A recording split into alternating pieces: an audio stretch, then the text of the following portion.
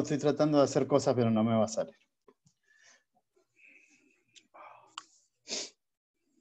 Esperamos unos segundos para, para comenzar. Porque por ahora veo nada más 32.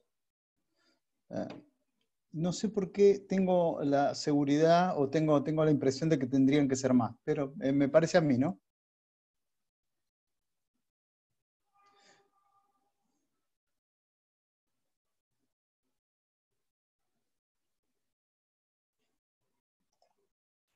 Bueno, ¿cómo anduvieron con lo que les pedí que leyeran? ¿Quieren que empecemos con eso o lo dejamos para el final de la clase? Porque yo lo que querría hablar hoy con ustedes es clasificación de los tipos penales. Eh, como usted quiera, profe. Eh, no abro el video porque tengo una muy, pero muy mala conexión de internet. Eh, como quiera. Bueno, bueno, ahora, ahora, ahora veo. Esperemos que ingrese alguna persona más. Y le voy a dar un, uno, eh, ¿cómo se llama? Eh, unos avisos parroquiales, podríamos decirlo eh, de, alguna manera.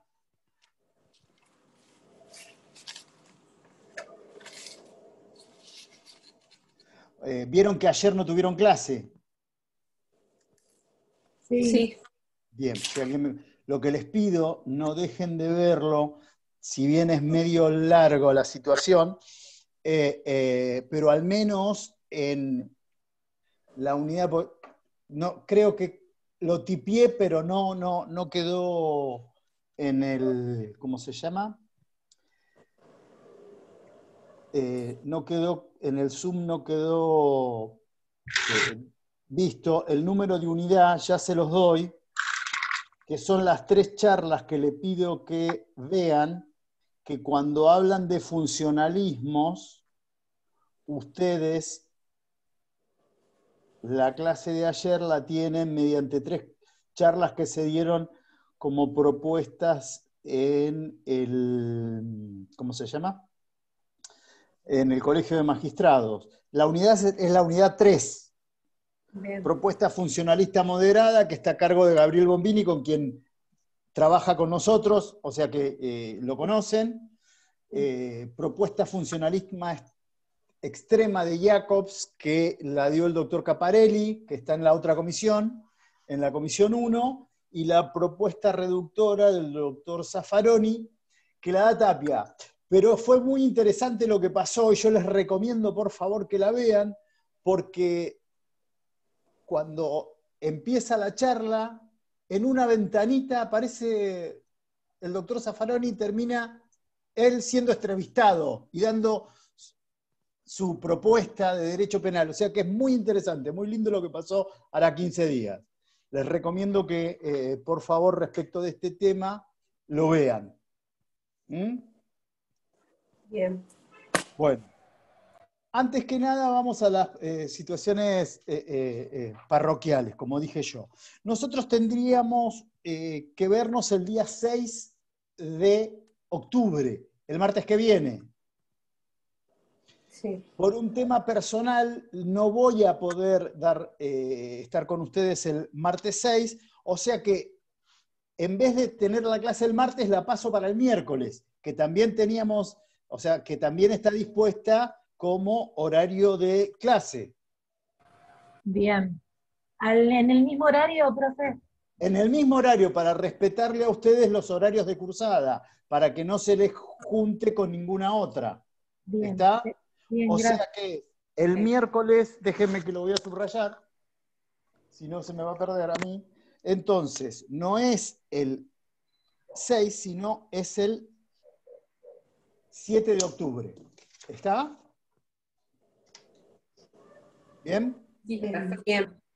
Bueno, vamos a empezar, antes de hablar de clasificación de tipos penales, me parece que para darle un cierre al tema ¿eh? y para que ustedes ver cómo ustedes trabajan o qué grado de compromiso puede llegar a haber con la situación de la cursada, esta situación en particular de aplicación de la ley penal, guía de estudio, tarea integrativa a los casos. Yo lo que querría ver es ustedes cómo resuelven con el material que fue dado en clase y tienen en, la, en el campus virtual, cómo, han, cómo se han desempeñado.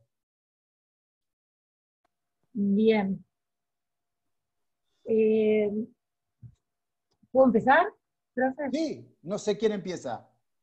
Eh, yo. Andrea, dale. Sí. El, primer caso... Eh, caso del turista, lo leo porque, porque alguno por ahí no, no, no lo tiene muy a mano, se supone que después de tantos días lo tendrían que tener bastante a mano. Dice, un turista argentino acompañado por su familia de visita en Miami es víctima de un ataque con arma de fuego cuando recorría un centro comercial, resultando en definitiva muerto. Meses después, los hijos que habían presenciado el hecho encuentran al autor bailando tangos en un local de la ciudad de Buenos Aires. Piden de inmediato intervenga la policía, lo detengan y que lo juzgue en nuestro país. ¿Es posible hacerlo? Ahí abro, a ver si no se me traba. Ahí está. Ah, ahí está. Dale.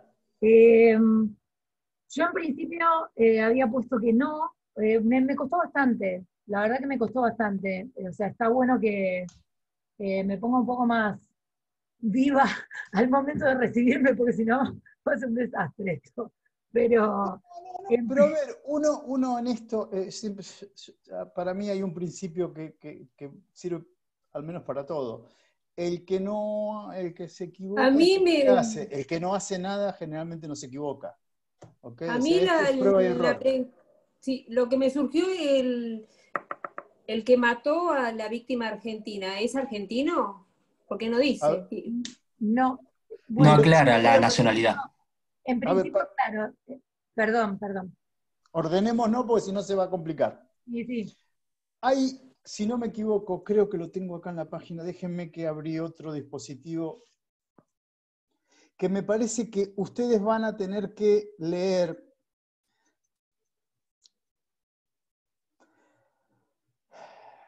que se llama técnica de resolución de casos, que yo les pido, por favor, está en la primer página del campus virtual, se llama Reglas para resolución de casos en derecho penal.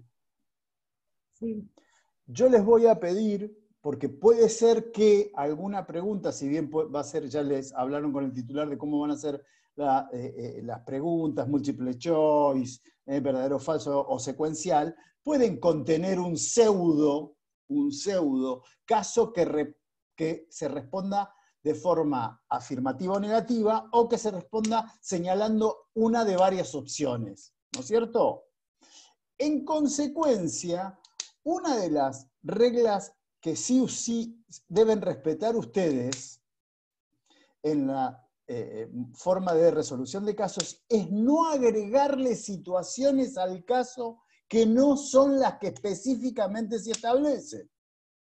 Porque si ustedes le aditan una condición que no requiere el caso, puede ser que al, resolviendo esa situación, eh, introduciendo una, variable que no está contenida en el caso, lo modifiquen sustancialmente y puedan equivocar la resolución. ¿Está? Ahora bien, este es el caso. ¿Qué se, ¿Qué se, preguntaba el caso? ¿O qué es lo que tienen, con qué herramientas cuentan ustedes para resolver el caso? Aplicando los criterios de ámbito de validez y aplicación de la ley penal. A consecuencia de lo cual, ustedes deberían responder si es posible la, el principio de resolución que les otorga el caso. Está, le pide piden de inmediato que intervenga la policía, lo detenga y lo juzgue en nuestro país. ¿Es posible? Yo creo que no. Bien. Yo creo que no. Creo que sí. Porque la acción sucedió en Estados Unidos. Ajá. Yo por el principio de por el principio de nacionalidad pasiva. Ajá. ¿Cuál es? Yo puse lo mismo, profe, eso de la nacionalidad pasiva. Ajá. Chicos, Yo digo que sí, que se puede. Por el principio de nacionalidad pasiva. ¿Sí? Creo que no. ¿Sí o no? Sí. Perdón, este es el problema de... A ver, muy sencillo. ¿Cuál es el principio que rige? Toma en cuenta la nacionalidad de la víctima. ¿De territorialidad? Exactamente, ese es el principio. El principio es la territorialidad. Y la excepción son las que vimos, real o de defensa, nacionalidad, son excepciones. Y también establecimos una pirámide jerárquica. ¿Está? Que esto está nutrido de elementos de derecho convencional. Si hay una convención específica. Si no, rige este principio. ¿Está? Ustedes legítimamente podrían pedir por, este, por esta excepción que se realice y se materialice aquí, en tanto y en cuanto el país donde sucedió el hecho, ¿se acuerdan que vimos esa posibilidad? Renuncie a esa posibilidad, renuncie a ese principio de territorialidad. Pero tengan siempre, por favor, presente cuál es el principio y cuál es la excepción. A ver, para que nos quede, creo que lo entendieron, eh, quiero, quiero entenderlo de esta manera, si por eso les pedía en la clase, córtenme, no... Eh, eh, no me dejen seguir avanzando si no lo entienden, porque yo puedo seguir hablando, pero eh, eh, por ahí necesitan ustedes una explicación más detallada o más profunda.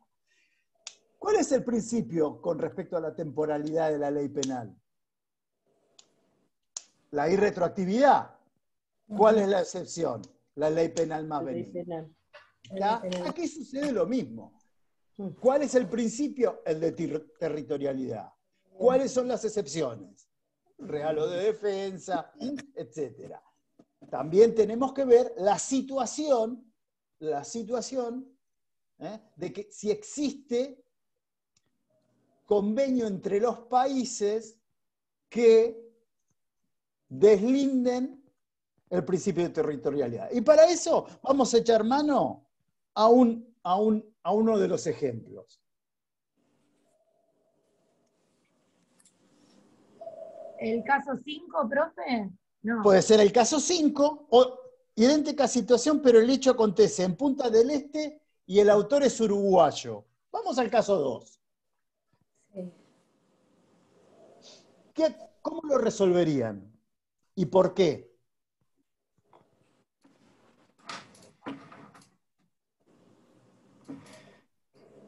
Por el mismo principio, es el de, el territorial, y con este...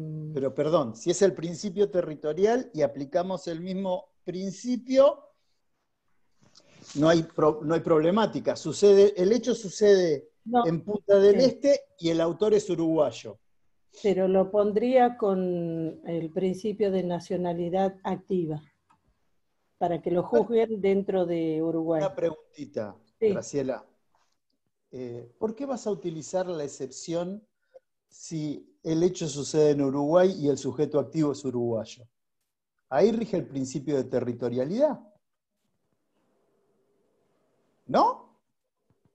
¿Y también el, el autor del hecho, digamos, está en Argentina? No, no, idéntica situación, pero el hecho acontece en Punta del Este el hecho sucede en Punta del Este. Pero está bien, introdujiste algo interesante, Gloria. Al, sujeto lo agarran, lo toman en, bailando, vamos a utilizar, al sujeto lo toman bailando tangos en Argentina. ¿Qué pasaría ahí?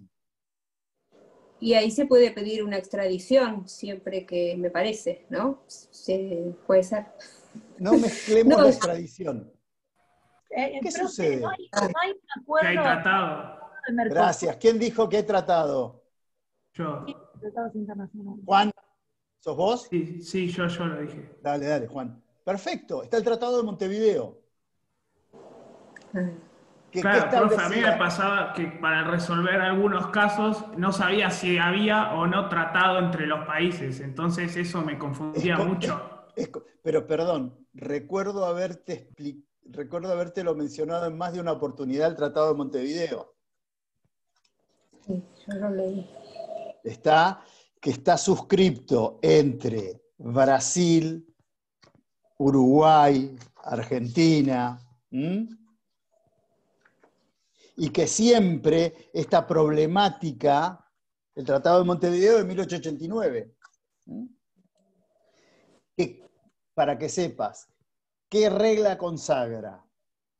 Consagra el principio general de la territorialidad, pero contiene también en su primera parte como excepción el principio real o de defensa.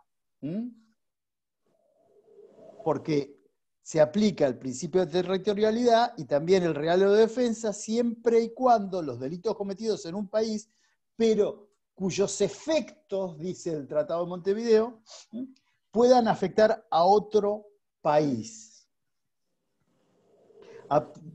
Eh, atribuyéndole, perdón, atribuyéndole competencia al país afectado por ese ilícito. ¿Te acordás?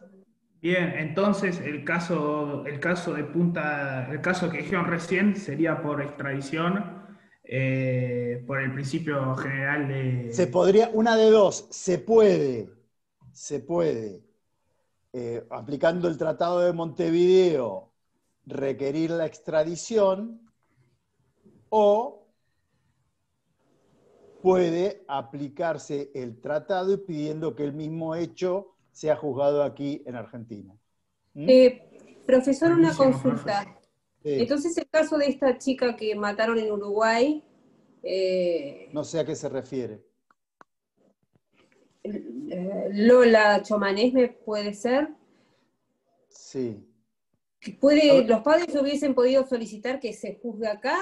Depende, no, porque la instrucción se está llevando allá y no, no hay motivo para, no existe un motivo. Independientemente, yo tengo una situación en particular, para que entiendan, nunca me gusta hablar de hechos de los cuales no tengan sentencia firme y consentida, toda vez que son situaciones que hoy por hoy están, si no me equivoco, a ver, corríjame usted, porque no lo tengo tan presente. Creo que hasta hace unos días había una persona privada de su libertad pero todavía no tenía ni sentencia firme, ni estaba en, la primera etapa o etapa de investigación. ¿No? Sí, sí, sabía que había un... Sí, yo trato, si bien los ejemplos, lo que hablábamos creo que con Andrea el otro día, los ejemplos tienen, en esta etapa de estudio, a nosotros los ejemplos nos tienen que servir para reafirmar algún concepto, no asimilar el concepto al ejemplo. Que es lo que tenemos que hacer todos. Sí, como para... Irnos al ejemplo, pues, ah, sí, pero nos es más fácil la comprensión. No, no. Para bajarlo a la tierra, a mí. a mi mente. Pero, hagamos una cosa, para bajarlo a tierra, como usted dice, voy a tomarme de las palabras que usted, que usted está diciendo ahora, al menos hágame sentir que soy yo el que le tengo, la tengo que ayudar para bajarlo a tierra. No, tenga, eh, no se sienta limitada eh, para decir, mira, mire, no entiendo, explícamelo de otra manera porque como lo, están, eh, eh, lo estás diciendo no te estoy entendiendo. No tenga problema en ese sentido. Nosotros eh, bien. tenemos que brindar ese servicio, si no, no serviría de mucho. Y, bien, gracias. Esto, si vienes en clase, lo están, creo que lo están grabando.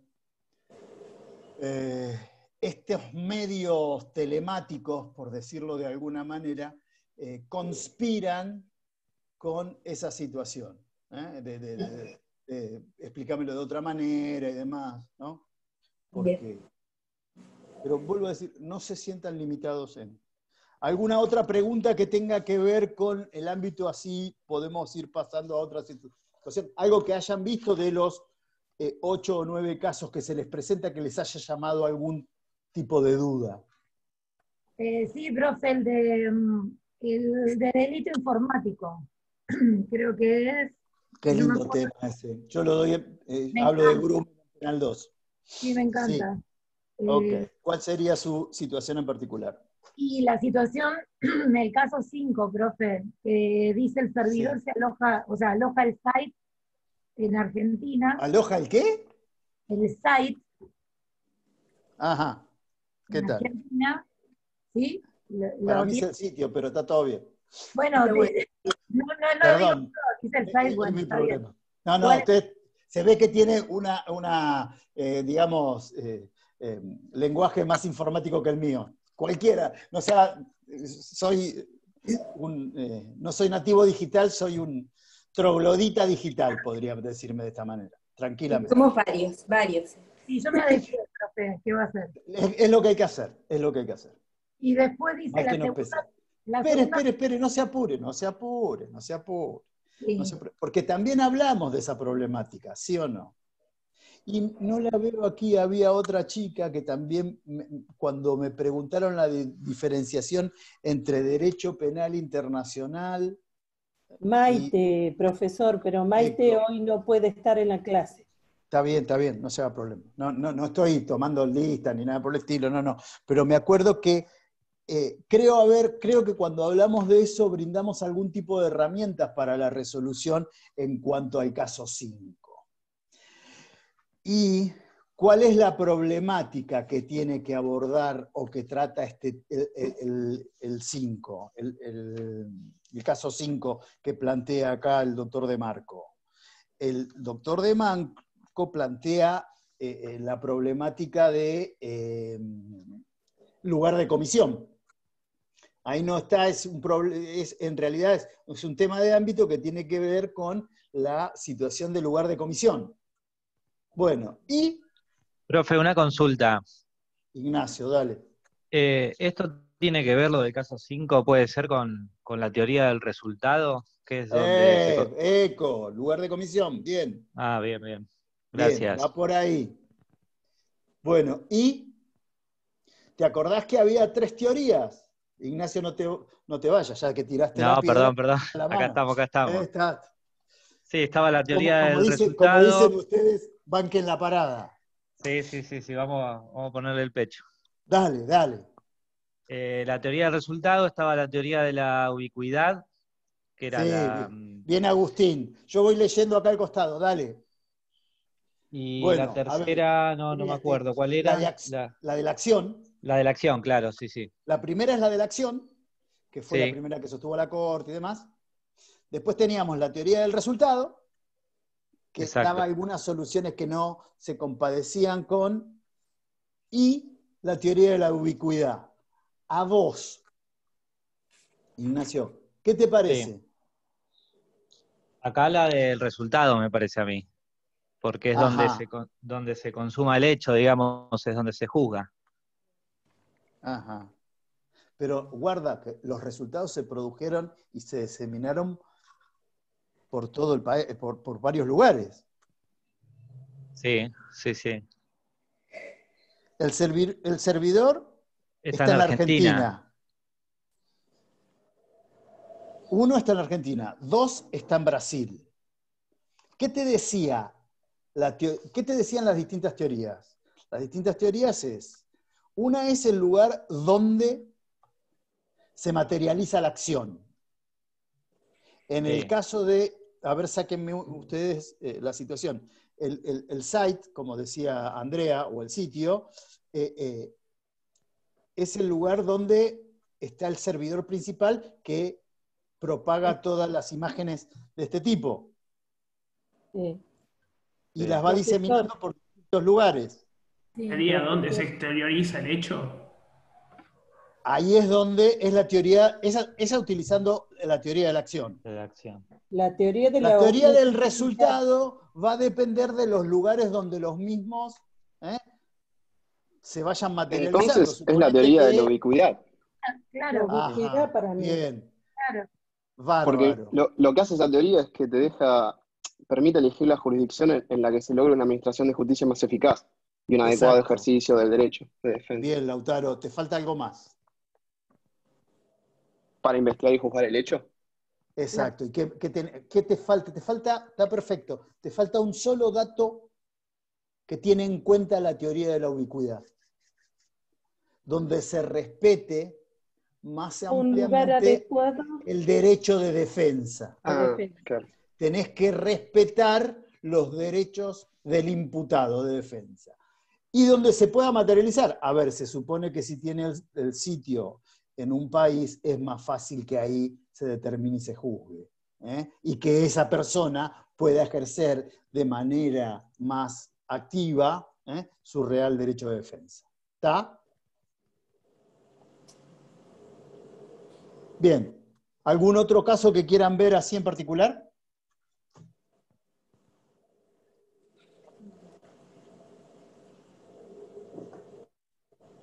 Profe, el caso 8 me gustaría analizar. Vamos. Espérame un segundito, por favor. Ah, sí. Caso 8, caso 8. Para entender si hablaba de un buque privado o público.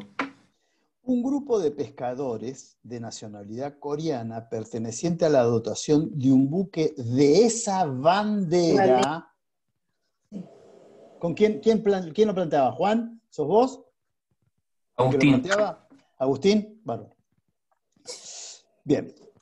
Por eso, ah, otra de las cosas que, que le pido, por favor, que cuando les pedí que, eh, que vean esa técnica de resolución de casos, van a ver que una de las eh, eh, sugerencias que les va a servir para siempre es lean detenida y detalladamente el caso. No le agreguen nada, pero léanlo detenida y detalladamente. Y ante una duda, vuelvan a leer el caso.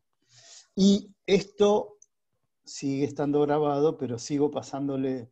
No se olviden, además, para que lo sepan, que el examen es que el examen en el que ustedes van a tener ahora en esta situación es secuencial. Quiere decir que para pasar a la siguiente pregunta deben haberse manifestado respecto del anterior. O sea que tómense el tiempo para leer concretamente qué se les pregunta. Mira vos, con respecto a... Que nos den el tiempo. Perdón, profesor, que nos den el tiempo, porque a veces es tan rápido que uno no alcanza. Está apelando, está apelando una situación que todavía no se le planteó. Perdón. Está apelando una... una mi micrófono. no, no, no lo silencie. 50 minutos para responder 20 preguntas que son verdadero o falso, o que son con dos o tres salidas, perdóneme, me parece eh, bastante el tiempo, si me dice son 20, no son 25. No, son 20, pero siempre se ah. dijo 20. bien, bien.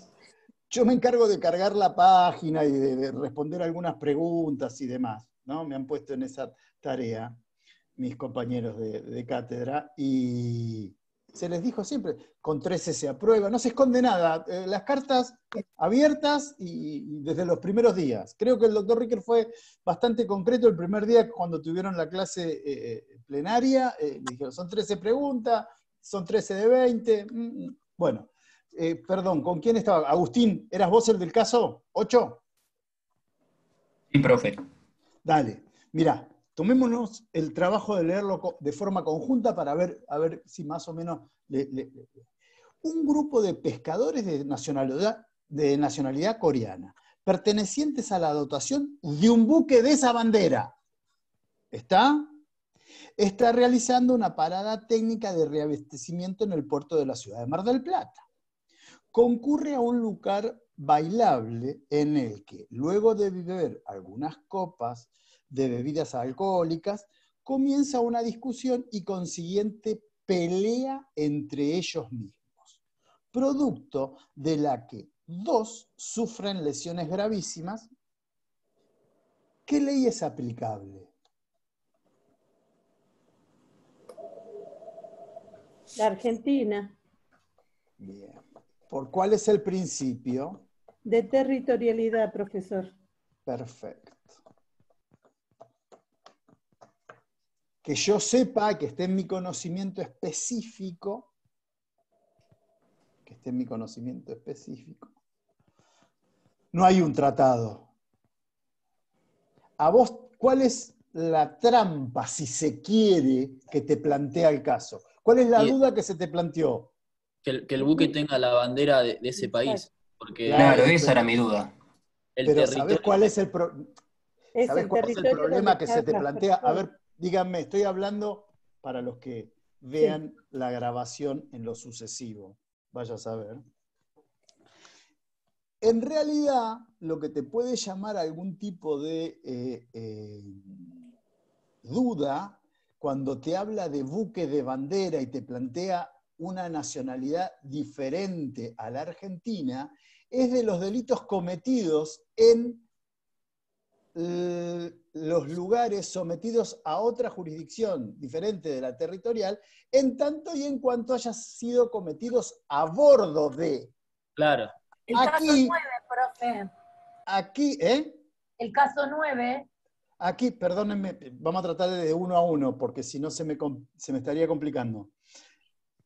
Aquí, lo que te plantea, si se quiere con alguna perspicacia, podríamos decirlo, es te plantea una situación, pero te deja bien en claro que el hecho es cometido en territorio argentino.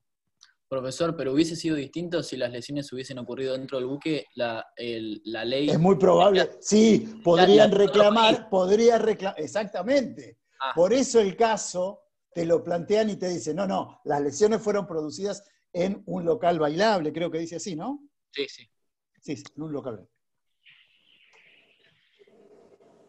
Y ahí te respondí la problemática del caso 9 que vos sabés que los países de origen oriental son muy restrictivos y, desean siempre aplicar eh, las leyes de su territorio, eh, sobre todo en los buques o aeronaves de bandera. Está bien, gracias. ¿Ah? O sea, si ocurre en mar internacional. En aguas internacionales. Sí. En este caso, una consulta que me surge ahora hay lesiones gravísimas dentro del buque, es de bandera, pero en este caso lo trasladan a una institución de salud pública y cuando ingresa no, no, toma contacto la justicia local, digamos. Sí, puede ser que tome contacto. Eso no implica que después no reclame, el, si se produjeron, por ejemplo, en el caso 9, no reclame que a los fines de la investigación y resolución del caso eh, se tramite en el lugar de la bandera del buque. Bien, gracias. Sí, sí. Bien. ¿Alguna pregunta? ¿Más? ¿Podemos seguir? ¿Podemos pasar adelante? Sobre todo con clasificación de tipos penales. A ver. Nosotros lo que vamos a ver hoy es, tenemos que tener en cuenta que las distintas modalidades que puedan establecer las legislaciones eh, se patentizan o se muestran en los tipos penales que se encuentran en la parte especial del Código Penal. ¿eh? Eh, también esto se integra con las leyes penales complementarias. y esta, podríamos decir, esta agrupación o categorización debe ofrecer facilidades eh, tanto para el derecho penal como para la jurisdicción y para también la comprensión. ¿eh? Desde el aspecto práctico, ¿para qué sirve la clasificación de los tipos penales? Eh, desde el aspecto práctico, tiene que servir o sirve para la resolución de casos, para determinar concretamente el tipo penal a aplicar en la tarea de subsunción que ustedes ya empezaron a eh, eh, ver con esta situación del pragma conflictivo. Desde el punto de cualquier operador, sea juez, fiscal, defensor, eh, del abogado, permite poder corroborar la existencia o inexistencia de prueba que acredite o desacredite la comisión de un delito. Y desde el punto del legislador, que la función del legislador ustedes ya la fueron viendo y la fueron notando, que es eh, eh, a través de eh, esta situación de criminalización primaria, poder responder a dos de los principios generales que debe abastecer el derecho penal, que son el de mayor taxatividad y poder robustecer el principio de legalidad. Y así, teniendo estas características, podemos establecer una clasificación de tipos penales. Y vamos así a ver distintas clasificaciones que van a tener que ver con distintas circunstancias que las vamos a tratar de ver en el tiempo que nos queda. Según la concreción de la descripción legal, tenemos tipos cerrados y tipos abiertos. ¿Mm? Eh, perdón, donde no entiendan algo, le pido que por favor, mm, eh, no sé, o prendan la cámara o alguien pregunte. ¿Mm? Los tipos cerrados son aquellos en que en su descripción, o en su, mejor dicho, en su redacción, describen concreta y directamente las condiciones que ha establecido el legislador constitucional para determinar cuándo una conducta es reprochable o no. ¿Mm? Por lo tanto, lo que hace en posterioridad el juez, en principio es si la conducta que ha desplegado una persona se compadece, se corresponde o no a las características de tipicidad establecidas en la propia ley.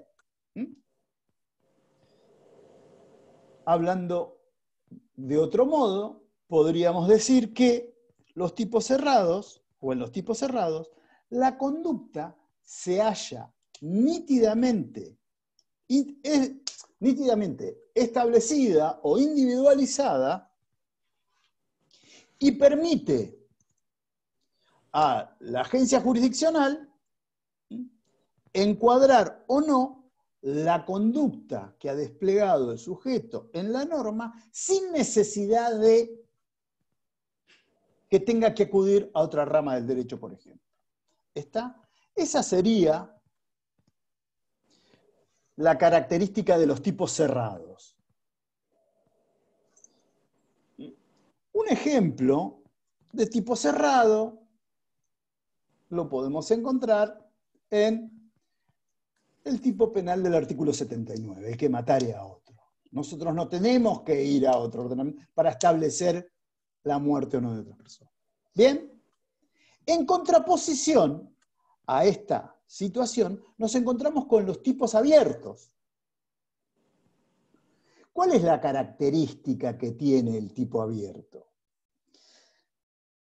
En el tipo abierto, la agencia jurisdiccional, el juez, debe remitirse a reglas generales, normadas o no, propias de una actividad en la que el podríamos decir, el hecho ha provocado el resultado típico. Y así vamos a tener que ir a buscar, por ejemplo, en la medicina, en problemas comerciales, determinadas situaciones. ¿Por qué? Porque en los tipos penales abiertos, la descripción no la, no la encuentro nítidamente establecida. En los tipos abiertos, la ley no individualiza totalmente la conducta prohibida, sino que exige, y que vayan haciéndose amigos de esta, eh, eh, eh, de esta forma de hablar, es el juez quien cierra el juicio de tipicidad. No es que el tipo quede siempre abierto. No, no. La descripción del tipo penal es abierta y el juez a través del juicio de tipicidad es quien la cierra. ¿Esto tiene que ver con las leyes penales en blanco? Ay, qué linda pregunta. Bien, Gonzalo. Eh, sí no. Hay que hacer, no es lo mismo un tipo penal abierto que una ley penal en blanco. Ah, ah. Está, no es lo mismo. ¿Por qué? Porque en el tipo penal abierto, la descripción de la conducta la debe realizar, la descripción de la conducta está efectuada por el legislador constitucional de forma, digamos, no detallada. ¿Mm? Por ejemplo, eh, los delitos de lesiones o homicidio culposo, artículo 84 o 94 del Código Penal, que te dice por impericia, negligencia, inobservancia de los deberes a, su cargo, ocasione la muerte de una persona. Está el tipo penal es determinado por negligencia, impericia, imprudencia o inobservancia de los deberes a su cargo. Es el juez quien deberá decir al cerrar el juicio de tipicidad. Roberto Manuel, conduciendo un vehículo eh, y eh, trasladándose por una calle a 80 kilómetros de velocidad cuando la velocidad permitida era de 40, atropelló a una persona causándole lesiones y o la muerte. Eso depende. O sea, si bien la descripción del tipo penal es abierta, es el juez quien cierra el juicio de tipicidad. Ahora bien, ¿quién fue el que habló? Ignacio no sé quién me preguntó la diferenciación entre la ley penal en blanco. Eh, yo, Gonzalo. Gonzalo, ¿cuál es la característica de la ley penal en blanco? La característica de la ley penal en blanco ¿eh? establece que hay un precepto descriptivo y un precepto sancionador. En la ley penal en blanco, lo que tenés vos es el precepto sancionador, teniendo que buscar el precepto descriptivo en otra norma. ¿No es cierto? Sí, sí. Bien. ¿Y cuál es la problemática que puede tener la ley penal en blanco? Porque eso ya lo vieron, ¿no es cierto? Eh, no, no, yo no, recuerdo. Lo, hemos nombrado, pero no sé si se. No, profe, específicamente en clase no lo vimos. O sea, lo hemos tenido que leer. ¿Y sí? Es que yo les, les diría que por favor empiecen.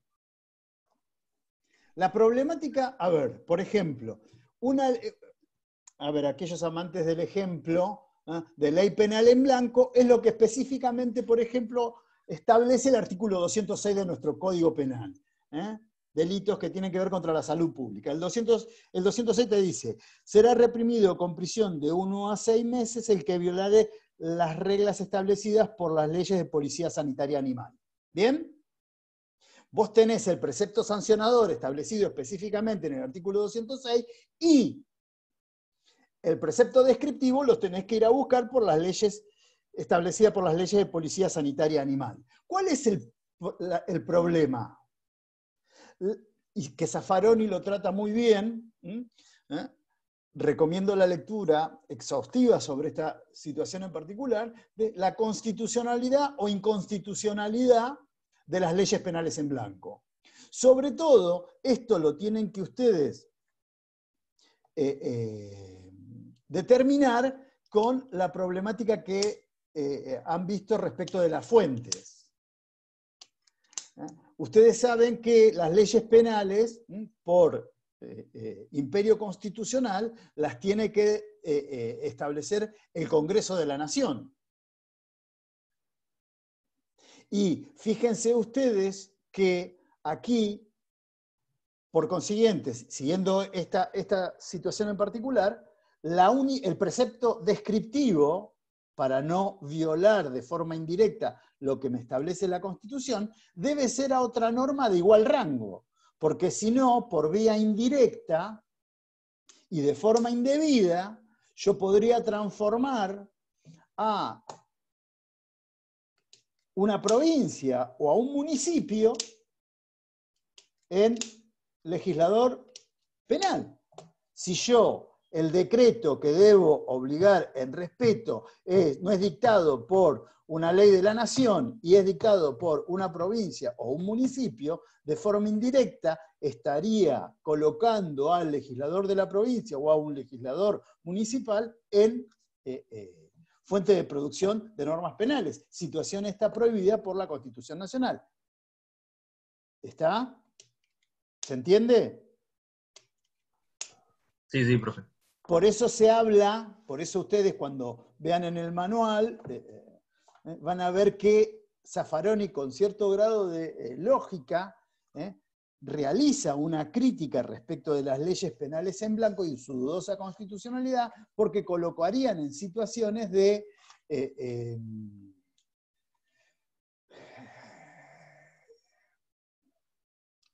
o sea, les darían a personas que no tienen esa entidad la posibilidad de colocarse en eh, legisladores constitucionales, en normas penales cuando no la tienen. ¿Mm? ¿Bien? ¿Se entendió entonces esta problemática de tipos abiertos y tipos cerrados y la problemática que puede haber, como bien nos hizo ver Gonzalo, de las leyes penales en blanco? ¿Sí? Bien.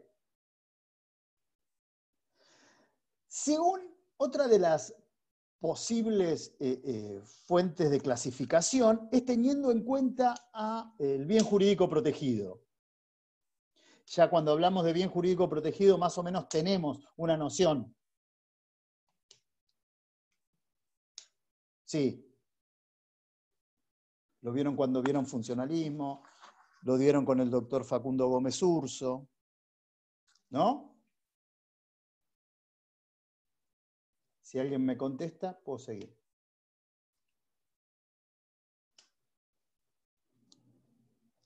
No. Intuyo que no. Bien.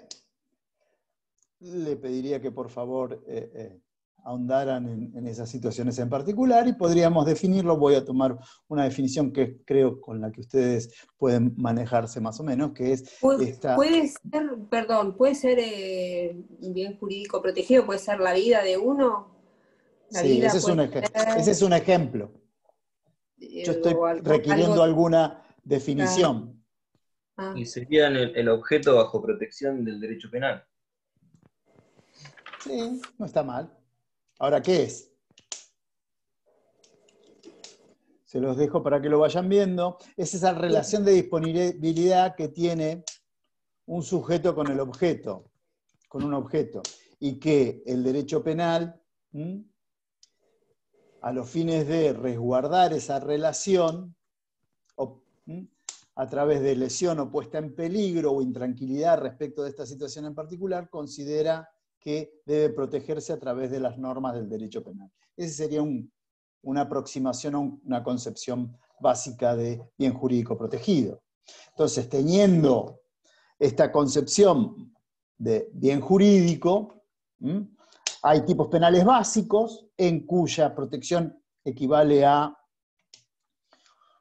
un único bien jurídico, como bien decía Gloria, por ejemplo, la vida, y, por ejemplo, la vida está protegida a partir del artículo 79, o de forma compleja, en las que intervienen en la protección más de un bien jurídico, a veces unos como medio y otros como fin. Por ejemplo, la norma contenida en el artículo 170 de nuestro Código Penal cuando nos habla del secuestro extorsivo, en el cual se utilizan o intervienen, más que se utilizan, intervienen más de un bien jurídico, es el bien jurídico libertad locomotiva, secuestro extorsivo, se retiene ilegítimamente a una persona para obtener un rescate. El bien jurídico que interviene es la propiedad, después nos pondremos de acuerdo si es en realidad la propiedad o el patrimonio. ¿Mm? Profe, perdona, ¿qué artículo dijiste recién? El de recién, artículo 170, que interviene más de un bien jurídico protegido.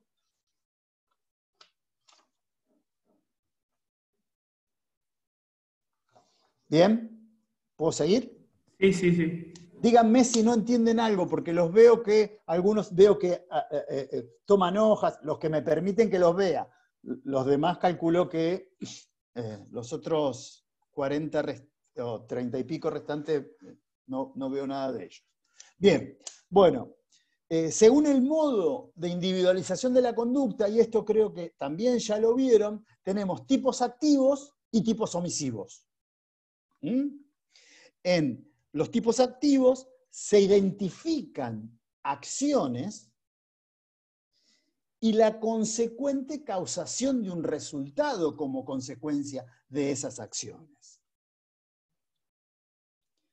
En consecuencia, la norma que emerge de los tipos activos generalmente es una norma prohibitiva. Prohíbe la realización de la conducta descripta. Vuelvo a tomar el artículo 79. El que matare a otro. Describe como prohibida una conducta previamente establecida. Y el reproche se direcciona como consecuencia de la realización de esa conducta. ¿Se entiende? Bien. Como contraposición a esta forma de establecer las prohibiciones, tenemos los tipos omisivos. En los tipos omisivos se requiere, se establece como imperativo una determinada conducta. ¿Y cuál es el fundamento de reproche? La no realización de la conducta debida. El reproche está direccionado a, la, no hacer la conducta que es requerida. Profe, sí, eh, Andrea. Perdón, que vaya con el ejemplo, pero el omisivo puede ser abandono de persona, por ejemplo. Es un ejemplo. Ah, bien. Artículo 106.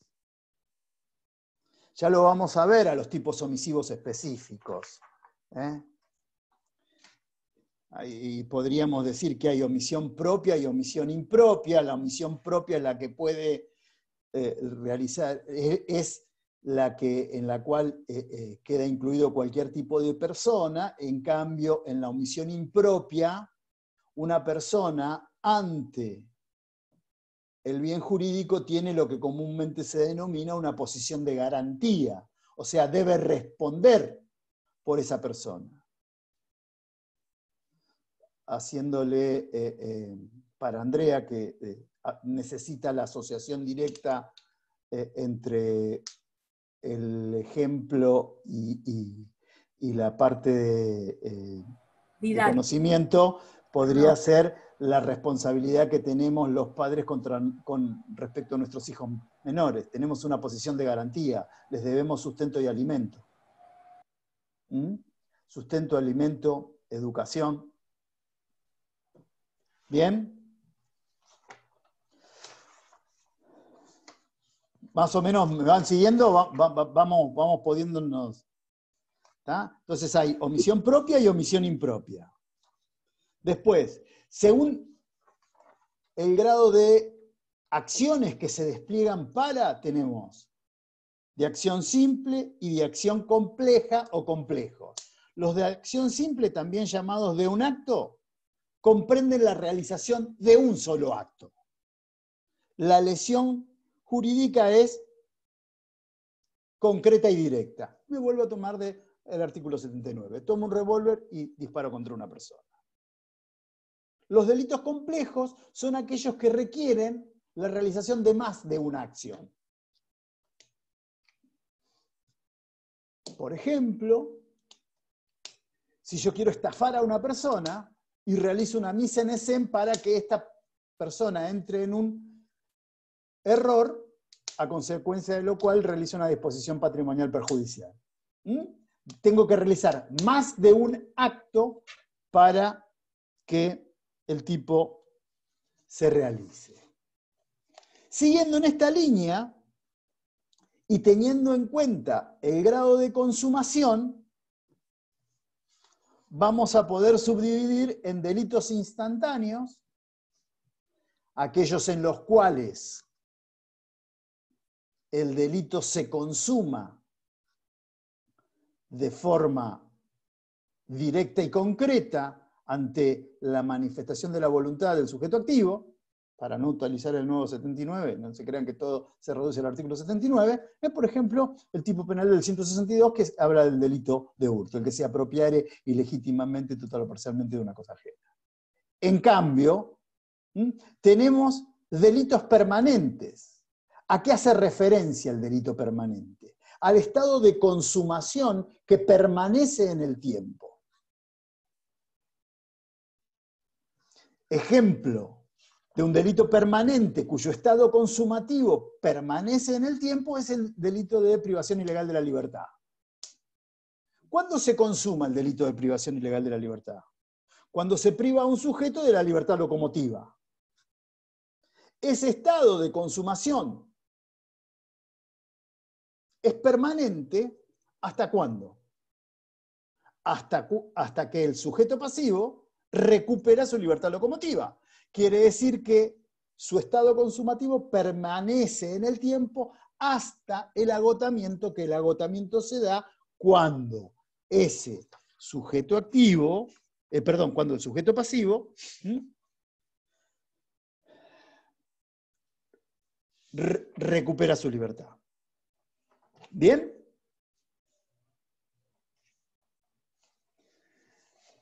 Si alguno no me sigue, me para y me dice, no, mira, necesito saber algo, algo más.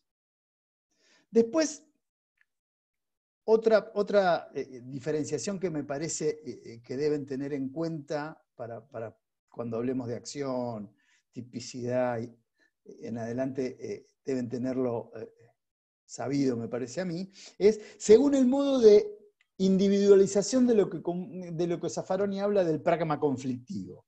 Y ahí vamos a tener delitos de resultado y delitos de mera actividad. En los delitos de resultado,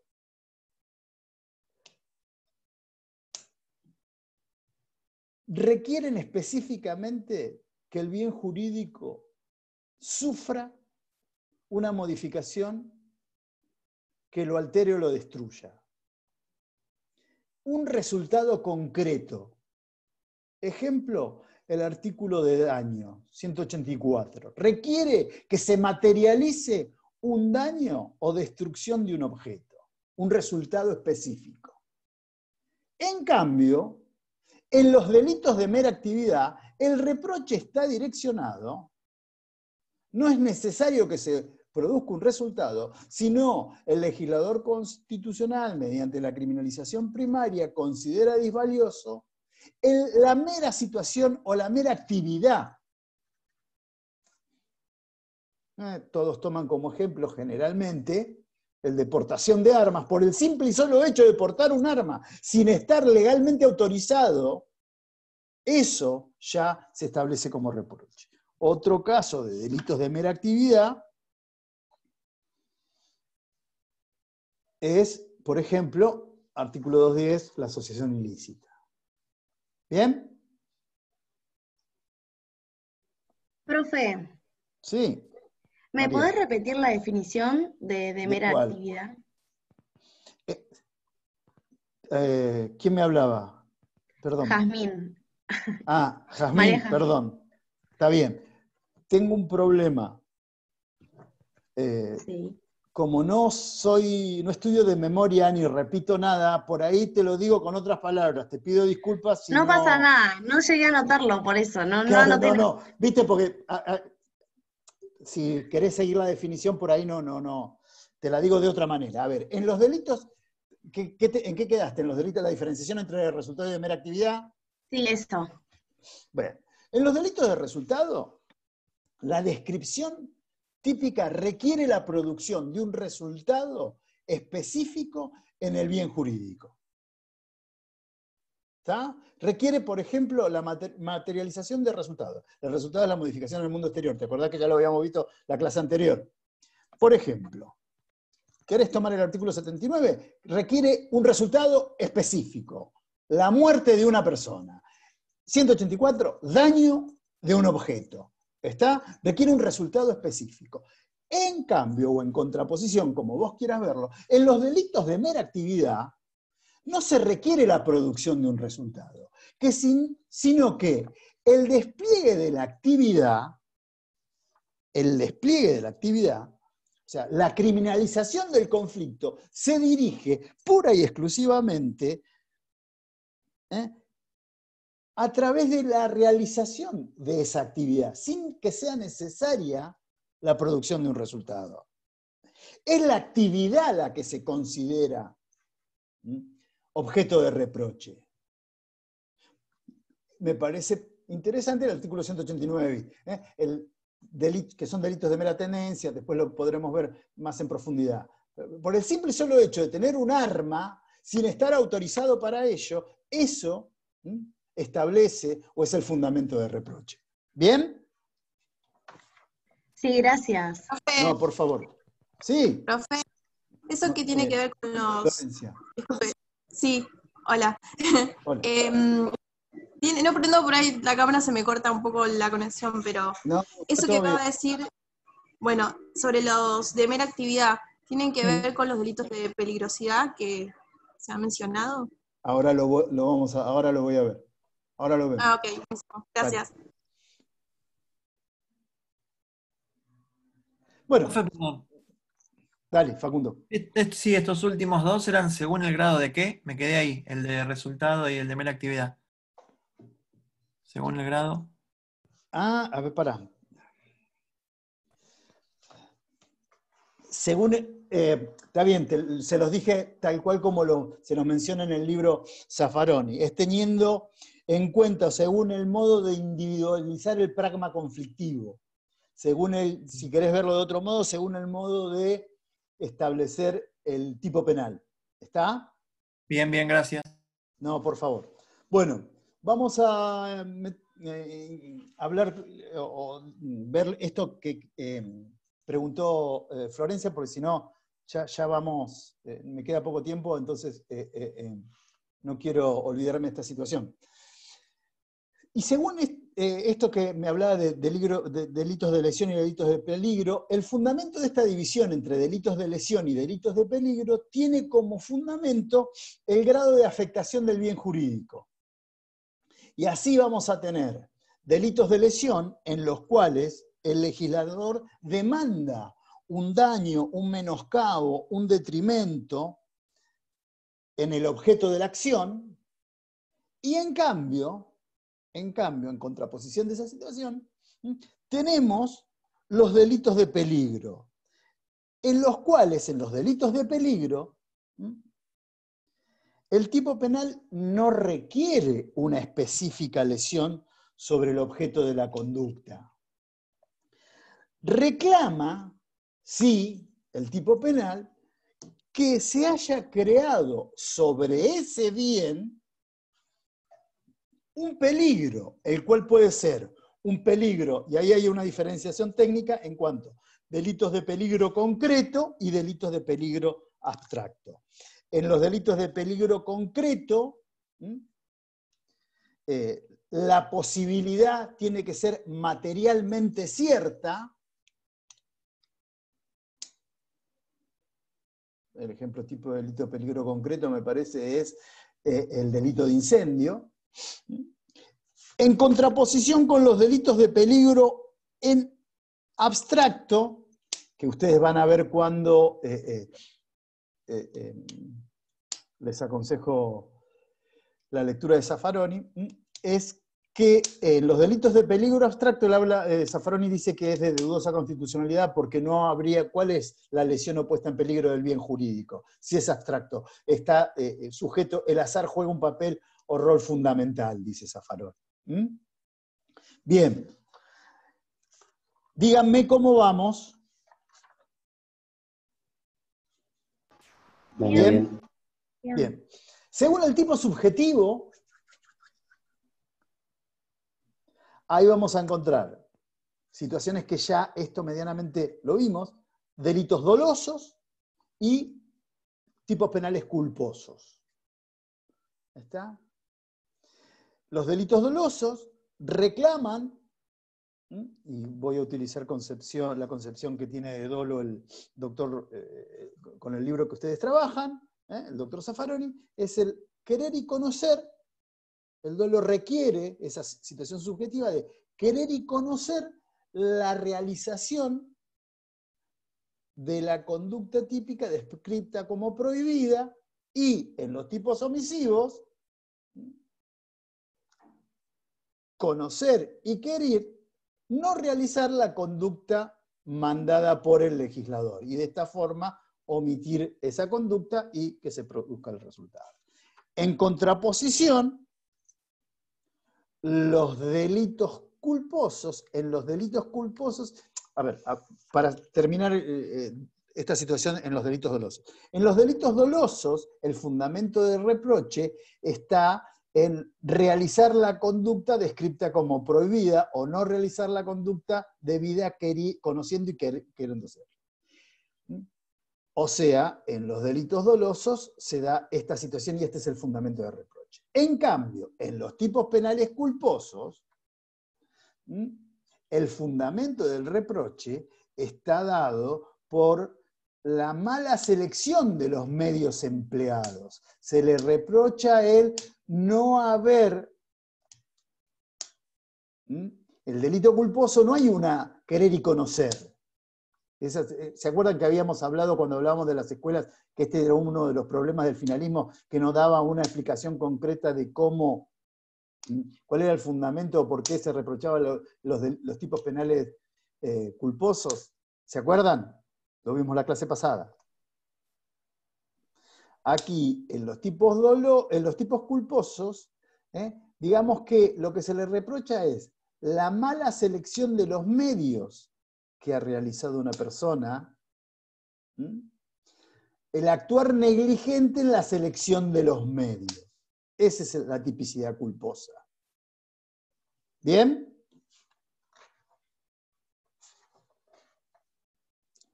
Ahora bien, esta clasificación de tipos penales, para que se entienda, ¿cuál es el objeto? ¿Cuál es el fin que persigue? Es que a los fines de ustedes, cuando deban determinar las características de los delitos, las tengan en cuenta porque les va a servir a ustedes como herramienta para determinar si nos encontramos o no en un pragma conflictivo. ¿Bien? Además, deben tener presente que estas situaciones no son compartimentos estancos, salvo en algunas características. Si es, un delito activo, no puede ser un delito omisivo. Y si es un delito doloso, no puede ser un tipo culposo. Ahora, puede darse situaciones en las cuales sea un delito de resultado, un delito doloso, un delito permanente, un delito compuesto, y si ustedes observan, por ejemplo, para no, vuelvo a decir, para no utilizar siempre el mismo artículo, si ustedes toman en, eh, eh, como ejemplo el tipo penal del artículo 170 del secuestro extorsivo, van a ver que es un tipo penal doloso, de resultado, complejo, permanente. ¿Se entienden estas situaciones? ¿Sí? Sí. Bien. Sí, sí, sí. ¿Alguna pregunta? Eh, sí, profe. Eh, entonces, a ver, si bien hay algunos que se establecen en un artículo en particular y serían según los apuntes que tomé, eh, como típicos de ese artículo, como el 79, por ejemplo. Después el resto podría llamarse que eh, son de un tipo mixto, o sea, es decir, pueden cumplir otras, pueden cumplir otras dependiendo del grado de acción, de consumación, de conducta, etcétera.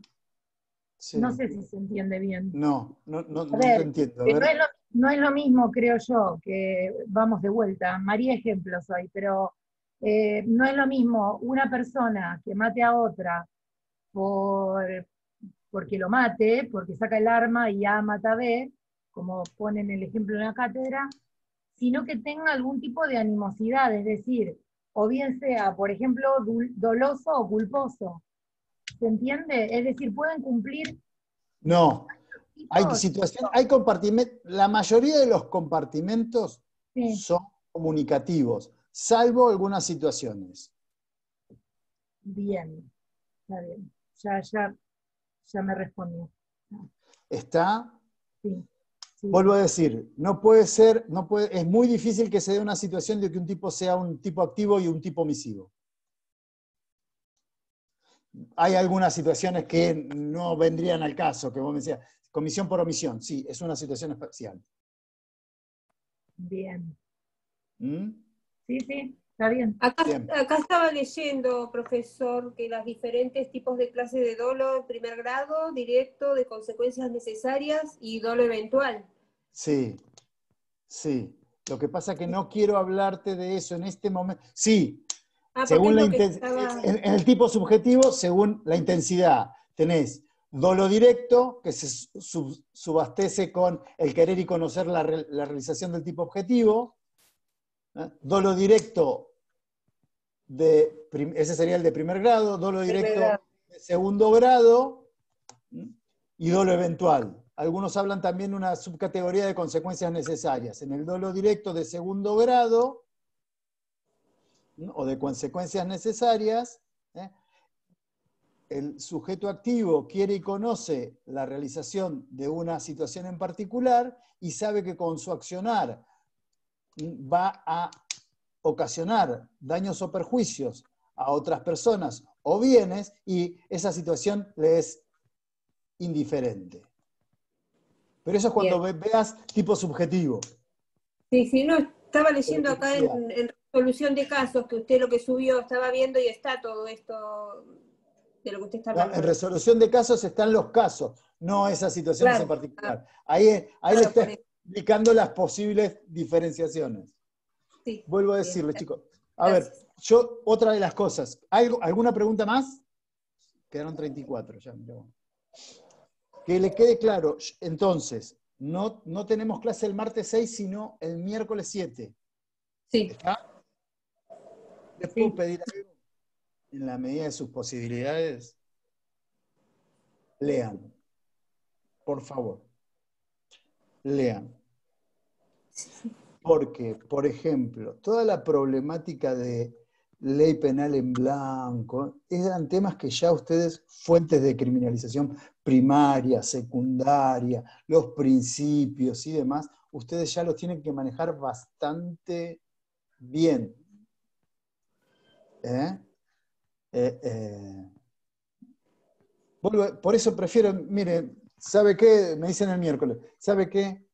el miércoles, el miércoles a mí me toca, mire, voy a hablar de tipo doloso, de las preguntas que usted me acaba de hacer, yo voy a hablar de eso el miércoles. Pero si usted tiene algún tema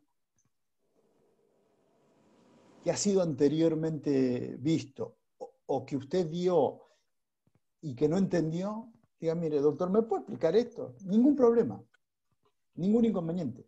Porque esa es la función de... Porque si las clases están casi, el, 80% de las clases ya han sido subidas en el campus virtual. Entonces, esto es para que ustedes tengan alguna, eh, eh, un acercamiento mayor para mm, subsanar algún tipo de inconveniente que tengan.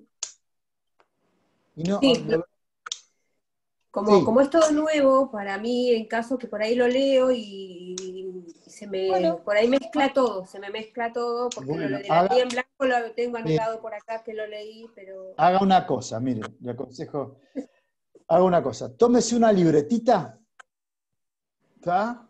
Y póngase al, las preguntas, y anótese las preguntas. Y cuando viene, no tenga problema. Mire, Manuel, no entiendo esto.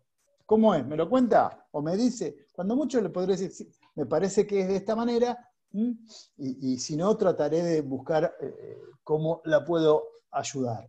Bien, gracias, profesor. No, tengan problema, porque si no yo me pongo a hablar una hora y media por acá, me puede gustar más o menos, me gusta muy poco, pero no, no, no creo que le, que les sirva. Me parece a mí que ustedes lo que necesitan es eh, esto, un ida y vuelta. Por eso les aconsejo que se pongan a leer porque noto eh, eh, que por ahí, o por ahí me pasa a mí, no sé qué le pasará a los otros. ¿Está? Bueno, chicos. Gracias. Muchas gracias. Que tengan una buena semana. Gracias, profe. Gracias.